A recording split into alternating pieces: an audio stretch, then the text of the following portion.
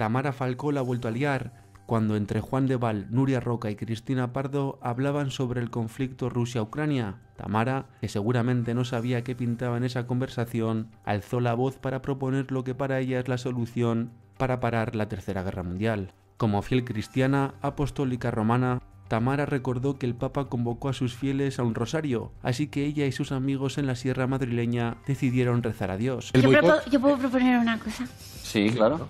Eh, el Papa ayer convocó un rosario y nosotros lo rezamos es en mitad de la sierra y todo eso. y podría ya lo sé que hay mucha gente, puede que no, no se lo crea, pero eh, bueno, es, es una opción que igual hay que probar. Rezar. Rezar.